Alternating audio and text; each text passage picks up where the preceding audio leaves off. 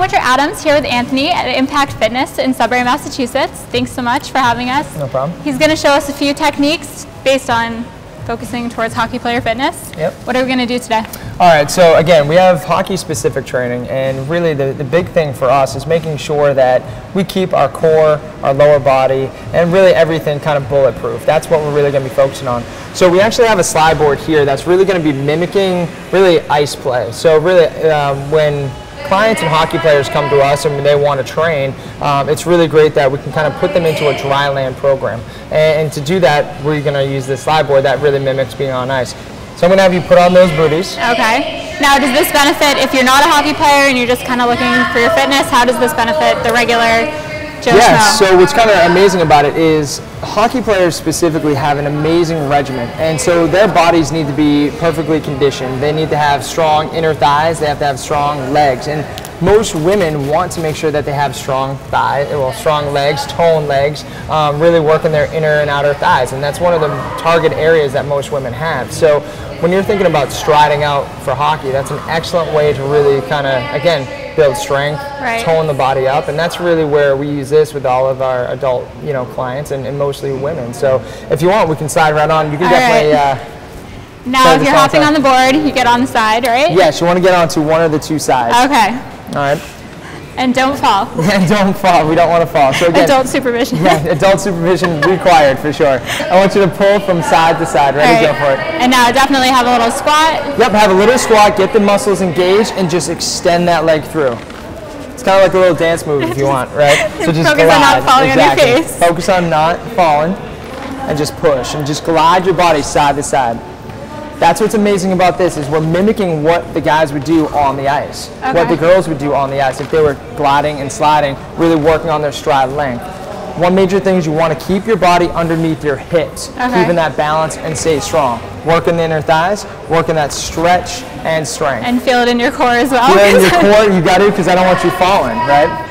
So again, guys are on like what a quarter inch blade on this on their skates, and that's really impressive. I don't think a lot of people understand how difficult it is to stay balanced and stay square on those skates. This you is, a little this is a little hard too. Yeah, right?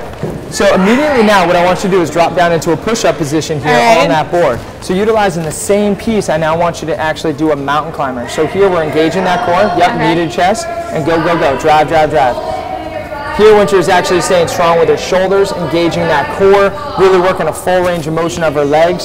So here we're working that high intensity, kind of getting that heart rate up, while still lengthening out the legs, working the lower body, and really critical for any kind of hockey player or anybody who wants to train like one. How's that feel? Good. Yeah, awesome, excellent. So you can take those booties off. I can actually hop you off. And what you'd want to do during that is maybe have about 10 to 20 side to side movements. Okay. And then drop right down and do mountain climbers for probably about the same, 10 to 20, and do maybe like three to four sets. Okay. So this piece is actually a very unique piece to have, and you know, again, it is a luxury to have a slide board. What's amazing about it is you can go down to say a Home Depot or in Canada, what is it? Canadian Tire. Yeah, Canadian Tire. There you go, and go pick up what's considered furniture movers, right? These small foam discs with plastic on them. Okay. Right, and if you find yourself, yes, it's beautiful, right? You can go down, you can buy like a four pack for maybe about $8 uh, US dollars, and you now have a slide board. And so I want you to kind of demo some of the things that we were kind of working on with working on the stride and working on really lateral movements. So if you take one of them, right, place it down onto the ground, and you do need somewhat of a smooth surface on a carpet, um, on a rug, uh, it really works well. Um, you know, you could do it on a hardwood floor, but you don't want to scratch it up. Right. But here, if you put one foot on, all right, we can actually stay balanced and stay over one leg. Now I want you to go out, come back in, and again, nice and smooth. Similar to that slide board, right? Where again, we slide down, really working on the inner thighs, and just pull right back. Strengthen that single leg. And you said you want to stay straight, not to the side, right? Yep, yep, you want to stay straight up and down on that one leg. Okay. You want to go about 10 to 12 reps on each leg, okay? And just like the slide board, we can immediately go into another exercise. So the next exercise we're going to do after you do about 10 to 12 on each leg is go right into a reverse lunge. So here, we just pull that leg back and forward. Again, you feeling that? Yep. All right, awesome. Definitely in the legs. Yes. So you're stretching out your hip flexor here, working on the strength on that front leg, and you're just pulling right and through. Oh, but don't worry. Here you go. We're gonna put both I wasn't worried. I mean, I'm worried, but So here we go. There's more. All right. Okay. So what I want you to do is actually put both feet onto the disc. tips, full feet. What are?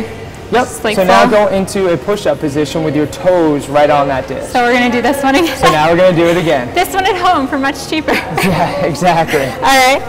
All right. So now what I want you to do is get those toes right on that disc, and I want you to bring one knee forward and do mountain climbers. Ready? Go for it.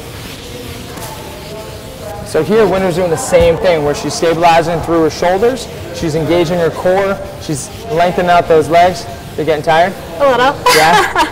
and for really about eight to ten dollars, you now created a slide board that there are probably thousands of exercises that you could do to really work your core, your legs, all for a fraction of the price. I was gonna say a cheap workout. Yeah, but they're awesome. And again, Correct. that's critical for hockey players is really getting core stability, strength in the lower body, strength in the hips, because again, that's where most injuries happen in hockey are in the hips, the hip flexors, adductors, abductors. And if we can make a, a, a hockey player, even any client that wants to train like a hockey player, or even just have some of those exercises to mimic that, the biggest thing is to make a bulletproof lower body. Right. Strong, tone, um, and really just everything that need, needs to happen for, for any kind of client. Perfect.